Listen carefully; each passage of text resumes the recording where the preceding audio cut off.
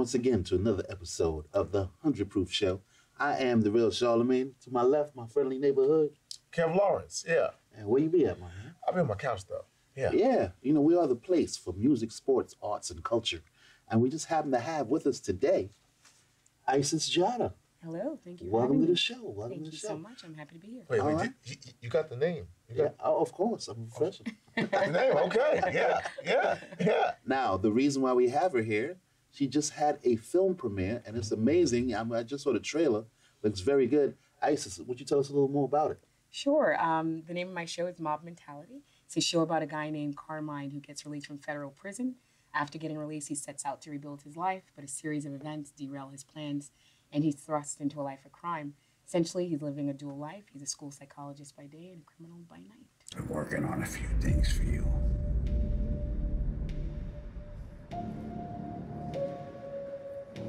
Gonna get you all squared away.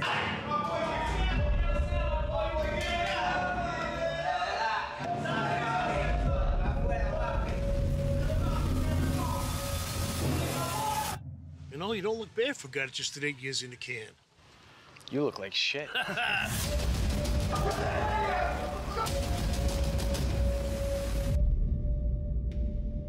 What does this say, Pa? My pissed. I'm so proud of you, son. Talking helps. And you're here because you don't talk. You just react.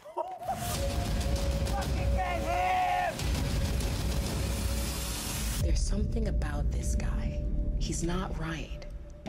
I think he's hiding something. And thank you for being so understanding. Keep up the great work, because the kids really love you here. Who? Don Revlon over there? He's got better hair than my fucking wife. Try again when you get a new pair of shoes, Fabio. Now get lost. You white boys been watching Goodfellas for too damn long. You should have been watching Hood. Yeah. Next time this punk says something to you, bang! Lights out, Larry. Got it? Wow. Where did you learn how to do that?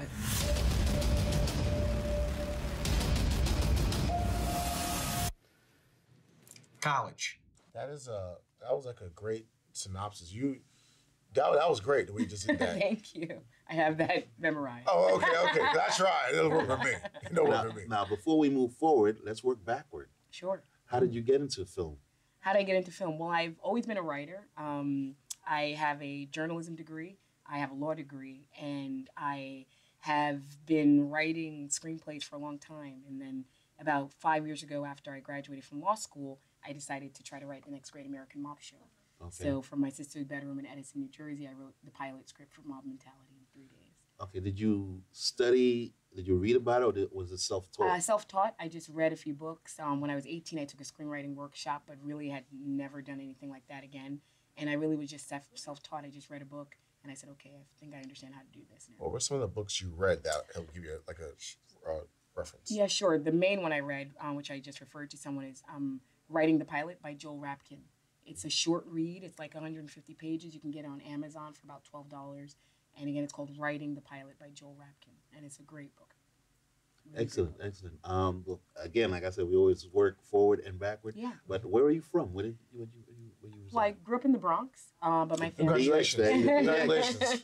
X in the building. Be X in the building. Let's go. All right, good. I'm good company then. Absolutely. Um, grew up in the Bronx, Co-op City, um, but my family from Ghana in West Africa.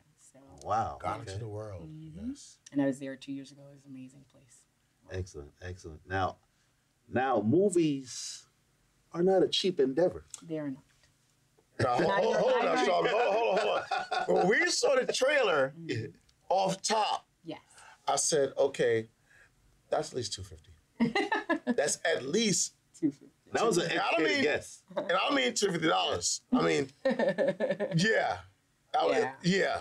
Well, it's so it's a TV show, and those are not uh, cheap either. Right, right. TV So- series. Well, Um, I, it, it, it has a movie feel to it. it does because So I am I'll a lover that, of yeah. movies, so I Uh, wanted to make it look like a film. Yeah, so it has a movie Yep. feel to Like it. the cinematography. Um, Yes. How did you get to funding that film? I use my own money, so I. Uh, Whoa, whoa, Time out, whoa, time out, whoa, time out, whoa, whoa, whoa. Are you African princess? What's going Whoa, no. whoa, whoa! We need some bells to go off right here. You know what? Praises to you. 250K. Praises to you. People have no idea people have no idea what it takes to fund Yeah. a film. They'll see a film like, well, I go buy a camera from you know a store, Right. and that's it. No, everything comes into play: location, permits. Even even you're doing guerrilla style, Yeah. still location, permits of people that live in the area, Right. uh, travel expense, Yes. uh, food. Yes. People must be fed. Oh yes, or they'll become very upset. Yes. Actors, everything comes into play. Everything. What made you uh, not want to get a loan Uh, at first? I because I like to be in control of my own destiny, and I'm not taking money from anyone for a simple reason. Uh, when I go to sit at the table to make whatever deal it is I want to make, I want to be able to make it and not be in debt to anyone.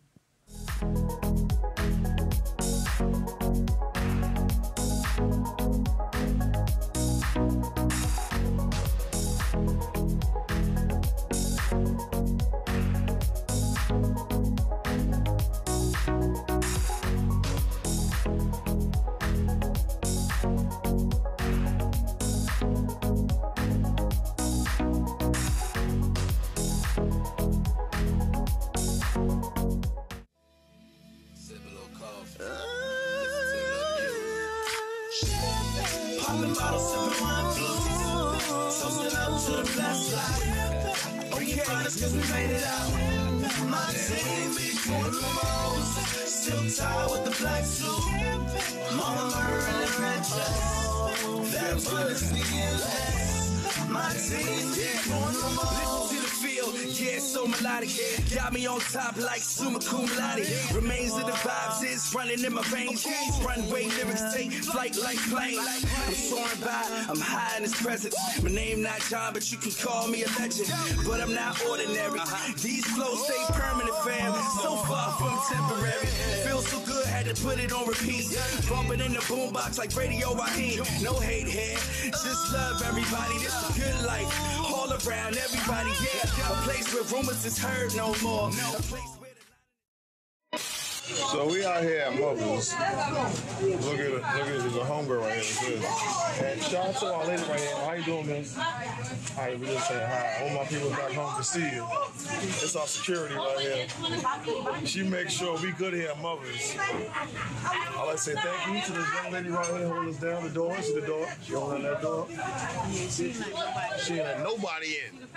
Nobody in. See that? See that? See that. That piss. she played no games. That's why I walked out. Look at she walking out like played no games. Look at her. I'm just happy to be down here in New Orleans. I'm about to eat some food I shouldn't be eating. It's New Orleans. It's her fault. Her fault. Always my fault.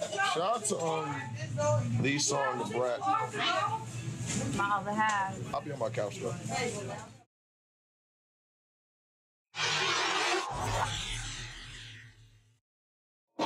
So I took 250k of my own savings um, to fund it, and then I got a $100,000 angel gift. Angel gift. Where's that angel at? Angel, angel. And I'll tell you the story of how I got. I got a whole lot of demons in the neighborhood. I These, need an are- these angel are angels out here. What angel is that? She said she's gonna tell a story. Let's sit back and listen to this uh, one. in Yeah, 2018, I uh, on Thanksgiving I decided to volunteer um, at a church because I hadn't done it in years, and I just said, you know what, this Thanksgiving I want to volunteer. So I went to the church and I was there, and the place was packed, and, we, we were helping to uh, make meals for the homeless, and we were in a very long line, and there was a gentleman standing behind me, and you know, you make conversation, so. He said, well, what do you do? And I said, oh, I'm a filmmaker. And he said, oh, well, what, what are you making? I said, well, I'm making a TV show. And he said, what, it, what's it, what is it about? And I said, it's a mob show. I'm, you know, made the next great American mob show. And he said, well, I had a run in with the mob. So that's when we just started talking. And he was a little old man. And he said, well, do you have anything you can show me? And I showed him my old trailer. And he said, wow, this is amazing. So we exchanged information. And he said, I'd love to hear more about your show. But I didn't think anything of it because, you know, people say that all the time. So a few weeks later, he contacted me and said, hey, could you, like, pitch your show to me? And of course I can pitch my show to you. So we met for lunch. I pitched the show to him. Again, I didn't think anything of it. I didn't hear from him for a few weeks. And then about four weeks later, he contacted me. He said, You know, Isis, I was thinking about your show and what you're doing. And um, I'm, I'm sure you could use a little funding to get it completed. And I said, Oh, surely, definitely. Um, and he said, "How are you funding it now?" And I said, "You know, completely out of my own pocket, and that's why it's taking so long. It's been a two-year process." And he said, "Well, I'm going to give you a donation that you can use for funding." And I said, "Well, thank you very much." And then when he told me one hundred thousand dollars, I almost fell off my chair. Mr. Ponte, this hearing is to evaluate whether you meet the state licensure requirements to practice as a licensed psychologist in the state of New York. The board has reviewed your application. We have some concerns.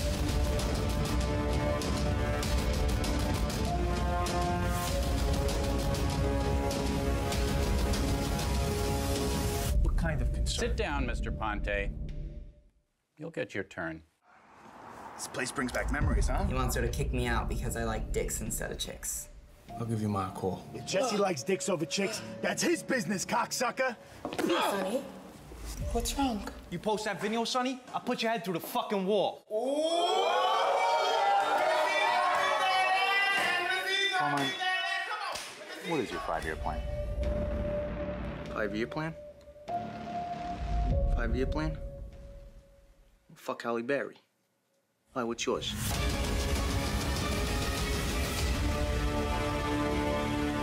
I'm going to church.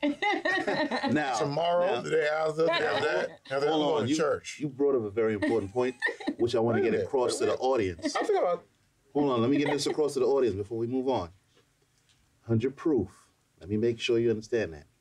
You see what happened with her?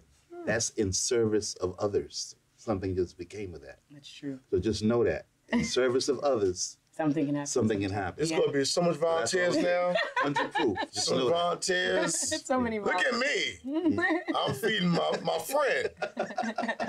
I'm feeding my friend. But wait, I wait, need wait, wait. 150k. Wait, but wait a minute. Wait, wait, wait. There's something else that we didn't realize. You, you're doing a mob mentality Yeah, a mob show. of, of what kind of people? Uh, it's an Italian mob show. Okay, okay. Start right there. Start right there. Italian mob. And uh, you, I don't know if you know this, but you're, you're a black woman. That's true. I am a black woman. Have Have you been do approached? people look at you like you're like, what do you you're know about silly? a mob movie? Like, Yes. exactly. Do they even take you seriously? You know, like Like- mob Uh, TV series. Right. So I, I wasn't over the two year period. I wasn't really taken seriously um, a lot of the time, and I noticed it, but I never really uh, paid much attention to it. I kind of just kept my head down and kept working because one thing that I know with my background is that the work speaks for itself. Ah. So, um, like I tell people, if you're a photographer, if you're a good photographer, you can shoot anyone, and if you're a good writer, you can write anyone's story. And I say that not because I'm saying because you know you're a woman and shit. No, it's because they look. They may look at us like you know, if we're not of them. I was about to say that. I think even if you Well, were I a think- male making right. this movie, Well, I right, a think I think in general, most writers write from their own perspective, which tends to be their own race. Because think about it, it's the easiest, right? If I'm a white female, I'm probably going to write from that perspective. White male, black male. white- So it, it just is common. It's not strange. So when you go outside of that and you write a story that's completely outside of your culture, I think it's surprising to people. I don't think that they're necessarily skeptical of you, but I just think they're surprised. Right. And some are skeptical because they want to see if it's authentic. And I think Exactly. I when about to people that. Started you- to see the trailers and the script, they realized, and they would many many would ask me, who who helped you with this? Who helped you write this? Yeah. Do The you trailer's know awesome, anybody by in the the way. mob? Thank you so much. No, it really is. Thank it's you. awesome, Thank you. and it it's very. uh I don't say relatable 'cause I'm not, I'm not a mob, but it's very believable. Yeah. Well, that, we that, that was my next question though, Yeah. because has anybody from the Italian culture or even somebody from the mob approaches and Right. like, "Yo, this is good," or Uh, or some maybe people like- have said yes, this is good. Yes, I won't go any You further. said some. So what? What has the other people have this? have they have they got upset with you because you're doing it? No, how dare you? Uh, no, they were just kind of surprised uh, when they heard my name, and then when they found out who I was and my my background, they were just kind of like, oh, like because it's, it's, I think it is a little surprising. You wouldn't think that I would write an Italian mob show. Probably they might think I might write a mob show about maybe the black mobs or gangsters or stuff. But I like to be outside of the box. I don't like to do what people expect me to do.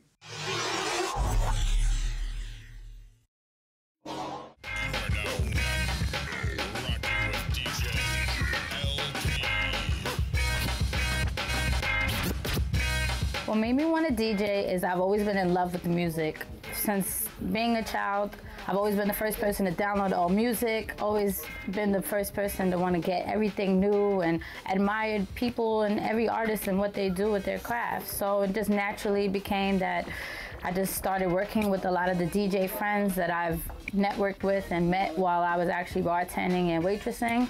And I just put all my all into practicing and making it happen and becoming who I am today.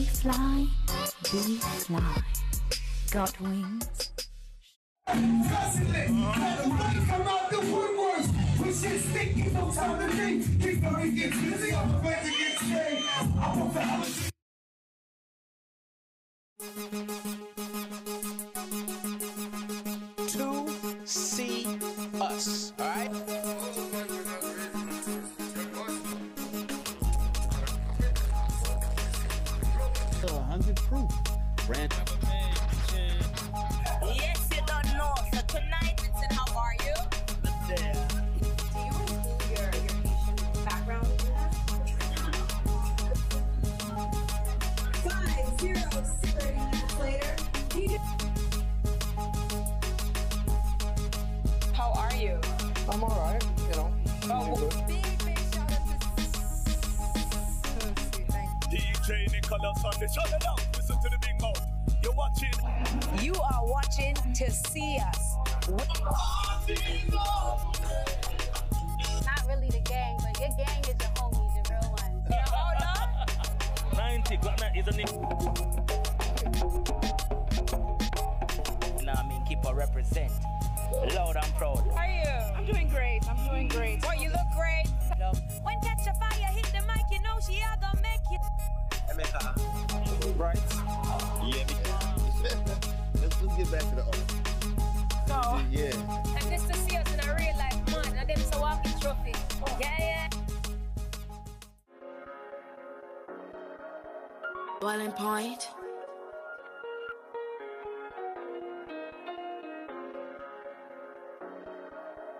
Boiling point. We're done. I'm leaving. You cheated. I'm packing my things up and I'm gone today. It's over. I cannot stay. Love don't live here no more.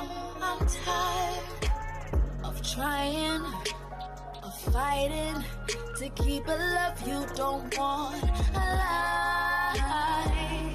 I deserve better. I could do better. I need suffocating. I'm drowning here.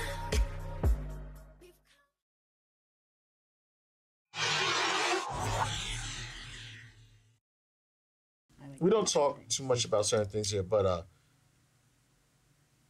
we're from a certain neighborhood, Mhm. and uh, it's very believable. Yes. Good. Thank you. All right, I, I had another question. Yes. Uh, sorry, I'm just running long, guys. I have another question. Um, the stars. Mm-hmm. How did you get the stars of your movie? Because I, even I said that behind the scenes. I said, I'm being real honest here. Um, you have some actors in your movie, in your movie, a TV series. I would get it. Yeah, it's because okay, of the pilot. does. Yes, it's great. It should be a movie So, yeah, exactly. Right. So anyway, I- you have Yeah. some stars in there Yes. that I feel that I have a Hollywood feel to them. Yes. And then you have some others who I feel like, you know, eh, Regular. but for the most part, Right. I was very impressed, and I thought it was it was a great. How did you even get the get, Um, get them on Yeah, board? I did all the casting myself because uh, when you know your story so well, you know what you're looking for. Right. Um, and Jack Speaks, the lead actor, we cast him. I'll never forget the day I held the casting call. You did a great job. Thank you. In November of 2017. And when I wrote Mob Mentality, I like to educate and entertain. And I said, whenever you see mob shows, you always see the, the typical, you know, mobster, dark hair, dark eyes. And I said, well, when you research the, the history of Italy, all the people in Italy do not have dark hair and dark eyes. A lot of them have blonde hair and blue eyes. So I found a city um, in Italy it's called Torino. It's a coastal city Torino. Yeah. where at least almost half of the population are blonde hair and blue eyed, and these people are 100% Italian. So when I did my research, when I was creating the show, I said my family's from Torino. Ah. And they're called the Ponti family. They all have blonde hair and blue eyes. And Jack, I, I described Carmine's character to a T. Yeah. So when Jack walked in the room, we were very surprised because he looked exactly like the character. Okay. So we were really shocked. But you cannot allow that to take you over because it doesn't mean they're a good actor. Right. So I keep a poker face when I'm inside those rooms. Yeah. So I let him start the lines, and in my head, I thought to myself, "Oh my God, I found Carmine on the first day, and Wow. it was amazing."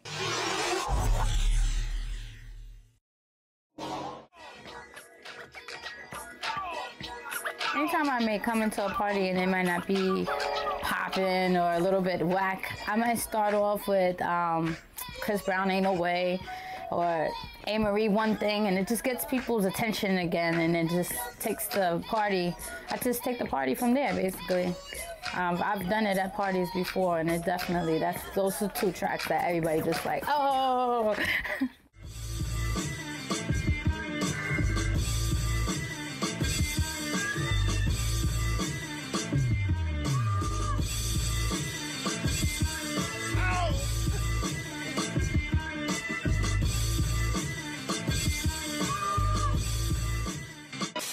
Cuffing season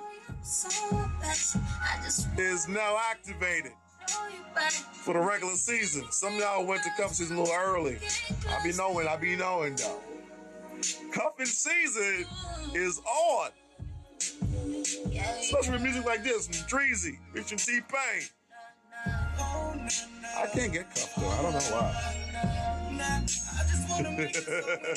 Make them ugly, right? The Radio Boys. I'll be on my couch though.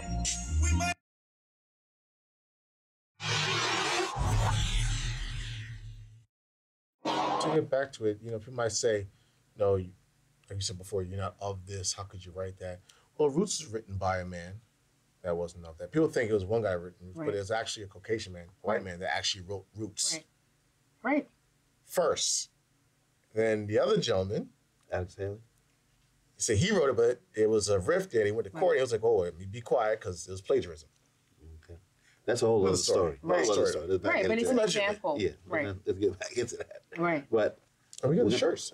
Oh, all right. Oh, Show yes. what's happening. Nice Yeah, we have a clothing shirts. line for Mob Mentality. Our fans and supporters have really just loved um, what we were doing so much that we started selling T-shirts and they just sold out. And since then, we've just been uh, we have a full clothing line now: joggers and sweatpants and T-shirts and hoodies and track suits, everything. Excellent. Uh, now, as we just wrap this up, I want Yeah. people to know, like, where could they see the, the series and Absolutely. what's happening with it right now? So we just- what And are when we? Charlamagne and Kevin Lawrence in the series. Exactly. We have to talk oh about yeah, that. I need a, a cameo. well, we just finished the red carpet premiere on December 18th. We held it at HV Theater. We sold it out. Um, 500 people attended. We sold tickets from 50 to $77, and the place was packed wall to wall. Um, so, Mob Mentality's next stop is going to be pitching. We're going to start pitching it in February of 2020 to streaming services and cable networks. And anyone who hasn't seen the trailer can go to mobmentality.tv and watch it. You can also follow us on Instagram and Facebook at Mob Mentality, the series. And we're your friends already, right? We're, we're your friends, right? Well, we have to be good friends now if we're not already. Maybe I'll block you guys. I don't know. you might Excellent. try to find out about that angel gift. Once again, pleasure, pleasure meeting you, Just for Isis. Thank you so Djata. much. Yes. Excellent, excellent, Pleasure. great Thank trailer. Thank Thanks you. for coming out. And that's been 100 proof, baby. Keeping it 100. Thank you.